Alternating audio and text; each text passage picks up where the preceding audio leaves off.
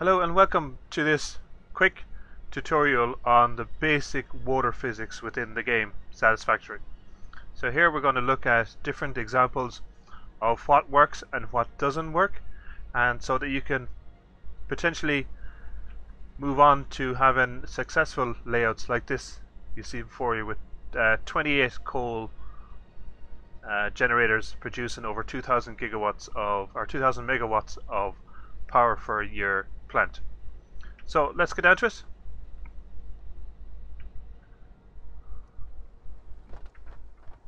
So here we have our first example. This is the most ideal situation where the actual outlet or what you're supplying is on the same level as the extractor. So if we connect this up here and start kicking in power, you'll notice straight away your rings here in the middle of the pipe. These are your pressure rings and flow rings, flow rate rings.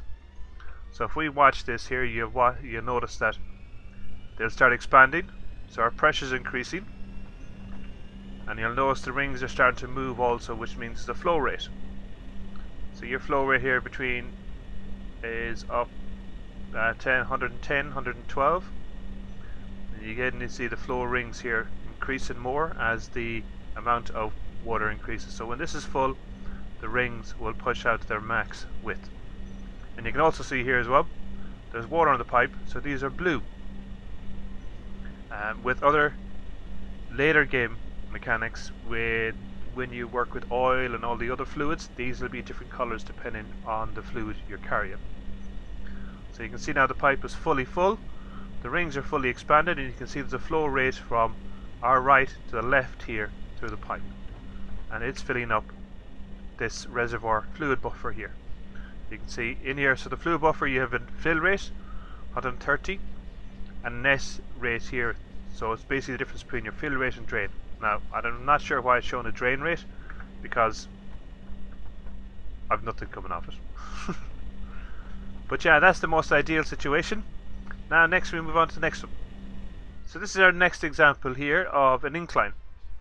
Now, for inclines, I recommend straight up inclines when you're dealing with slopes, long slopes, I think they're harder to calculate and manage because you don't know exactly the height you're lifting.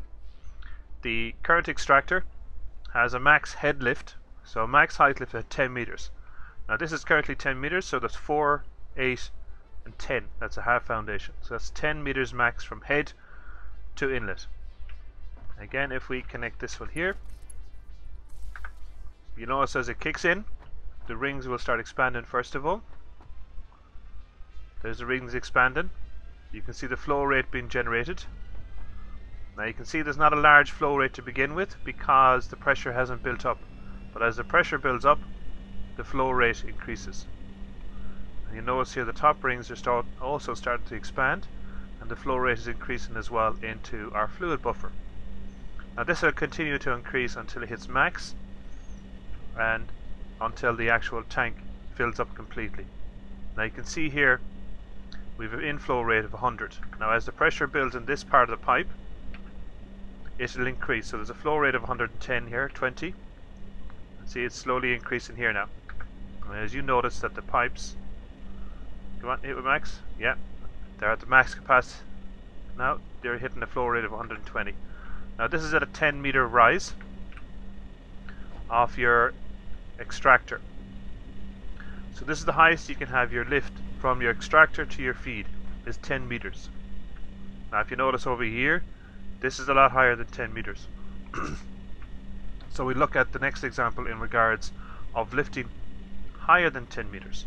So this is our example here. This is head lift of lifting 12 meters. So again, we'll connect it up. The pump will kick in and you immediately start and expand it. Now it won't expand this quick when you first connect it, but it's only expanding this because I've already tested each of these layouts and looked at the results so I can best portray it to you. So there was already a reserve of water within the actual pump. Now, this is interesting here. So the max head lift is 10 meters, but yet we're getting a supply on 12 meters. But there is a downside. You'll notice that the pressure isn't as good. So your fill rate here is a lot lower than it would be at 10 meters. So effectively you're pumping out 120 out of your extractor, but you're not getting 120 where you're feeding it. So you're losing pressure. Even if we look at the pipe here, look at this: the flow rate has dropped to 90, 80. It all depends on the on how much it can fill and the pressure you put it under. So if you try and lift it over 10 meters, 12 meters, you're going to lose some of that pressure.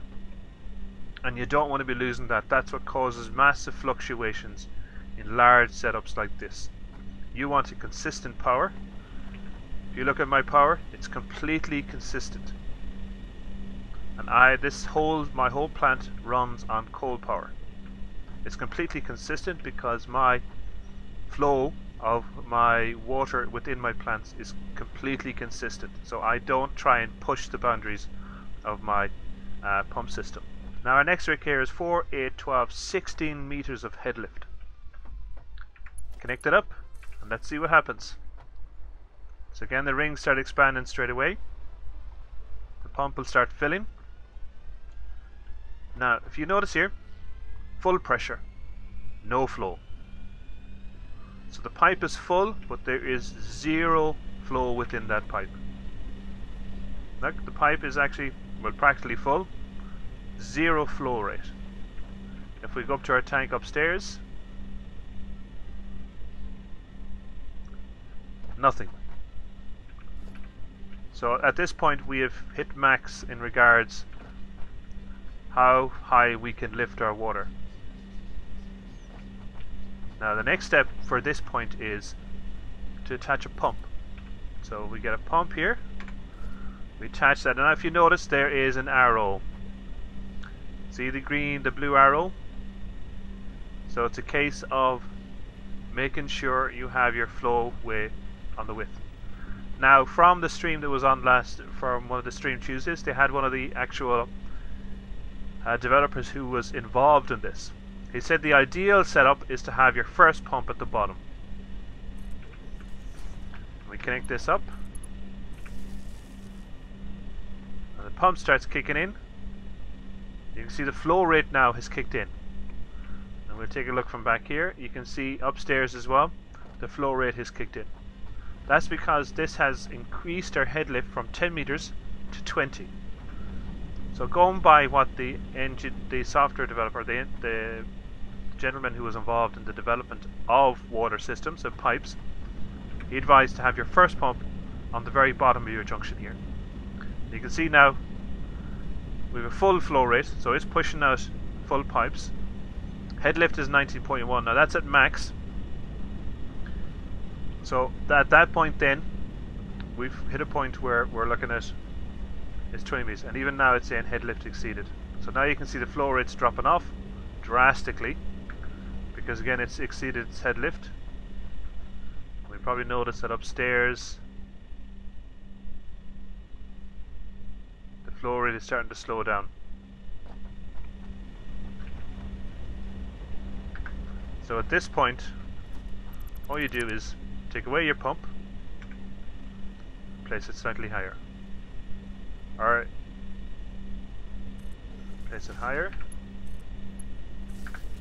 Now remember again, the actual pump system here has a head lift of 10 meters. Now you, you don't want to push that. So again our head lift has dropped off. It's increasing again.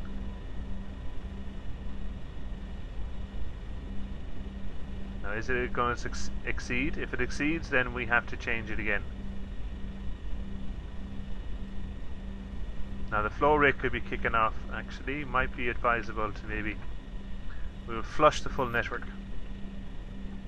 And what that does is completely removes all the water from the system so we get a fresh test.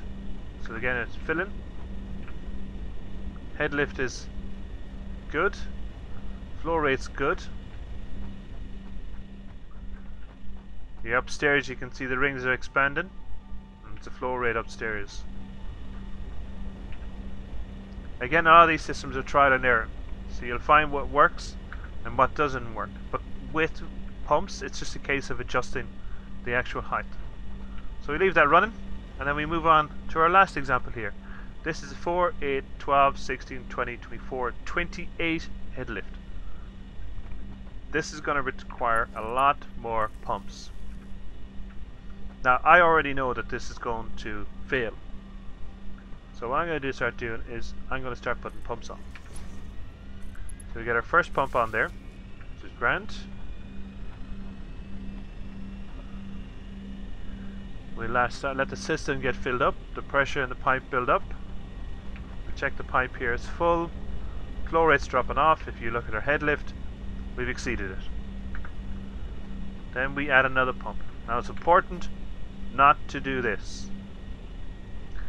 Pumps only give you head lift from 20 meters from the top of the pump. So if I place that one there, I'm just adding 20 meters from here. I'm not adding 40 because it's two pumps in row. So we take that off and I'm going to place it roughly about, I'll put it 10 meters above it. So now you can see the head lift has decreased here. We connect this one up to power, get it working. So now the head, head lift on this pump has decreased to 15.5. Now we'll head up and we'll take a look at the other pump. This pump here head lift is also 15.5. So now we're at a point where it's actually reaching the top. Can, oh, that was unexpected. So we'll stick a ladder on this side here. To stick it in there.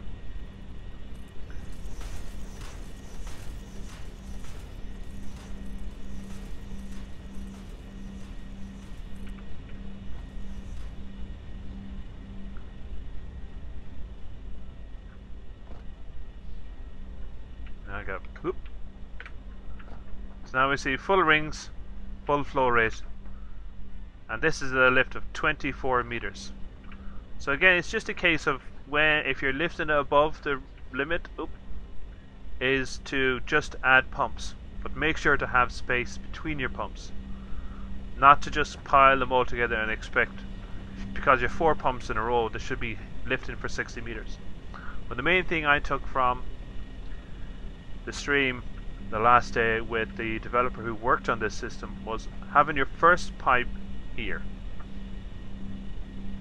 at the junction and that creates an actual system where your fresh it's 20 meters from here so once you exceed that you must put a second pump on and a third pump as needed. But for me my own personal preference is vertical pump lines. Go straight up and that way then you can easily regulate and you can see in regards distance of how far you have to go. Now these pipes, you can lay them down for up to 50 meters at a time. So technically you could go up 50 meters before it asks you for another support. And then that's just a different story. that just complicates it even more. But my advice would be to do a system like this. Bring it up as high as the pipe will go. You can see now the full system's filled up, the pumps have stopped. So my advice would be to bring it up as high as it can go, regards pipe wise, level it off, and then start again. And do a second. So do this step over and over again until you get to as high as you need. And now lastly, I'm going to give you a quick tour of my power plant over here and how it's set up. So here we are in the middle of my power plant. Again, this is pushing out over 2000 megawatts or 2 gigawatts of power running off 12 water extractors. Now each of these water extractors are actually underclocked. Show you here. Well, it should be underclocked. This one hasn't. That's one I missed. I missed them all. Just I missed a few of them. But so the maximum capacity of our pipes, our limiting factor in our systems are our pipes. So the pipes are maxed out at 300 meters cubed of water. So this is the max amount you can get through your system at any one time. Now if you notice here, even though there's pumping, there's 360 being forced into the pipes, I'm only getting a flow rate of 150, 180. Now that's due to this amount of power that I've been used upstairs. So I have each of these connected in. I should have them underclocked to uh, just 100 meters cubed of water a minute. These are pushing into a buffer here. I have a buffer in all of my systems. This is just to take any fluctuation in the pressure or water away from the system. I have two pumps. Now I didn't lift the second one higher because they're going into the roof. But the first pump pushes it up, second pump gets it up upstairs, up to the power plant. And these are done on modular. So this side here runs this side upstairs. The same, so forth, so on, so forth. So we head upstairs.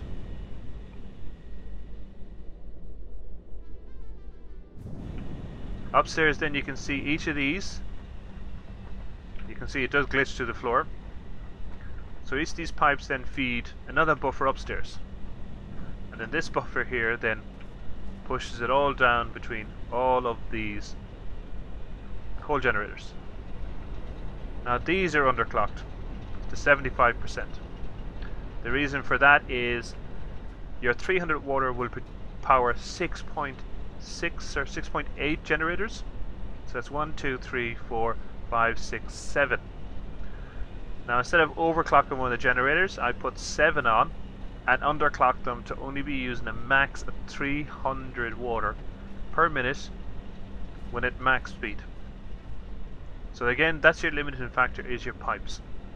So each pipe at max load can power 6.8 generators. If you want to run 7 generators, you run them at 75%.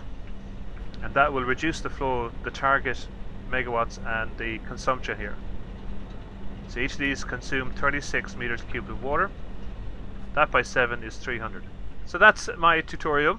I hope you gained some information for it you learned something from this. Now this is only the flow rate in regards water. Um, I have, in my own world here, I have not tried and tested and pushed the boundaries of the oil or any of the other liquids yet. Uh, when I get to that stage, I will probably do another tutorial video when I fully understand on how the mechanics work. Again, it's about understanding. The main things to take away from this, first of all, each extractor only produces 120 meters cubed of water per minute.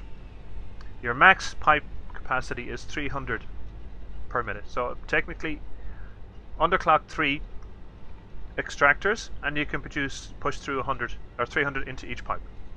The max lift for uh, a water extractor is 10 meters comfortably. If you start to exceed that, you start getting slight problems. If you want to add more lift to it, you add a pump. You monitor your pump depending on your placement. As advised from the stream from the actual programmer who developed this system, he advised place your first pipe at the very bottom and then work up from there. But again, it's tried and tested. Don't just slap them on and expect it to work. Place your first pump on, see what happens. Place the second pump on, see what happens.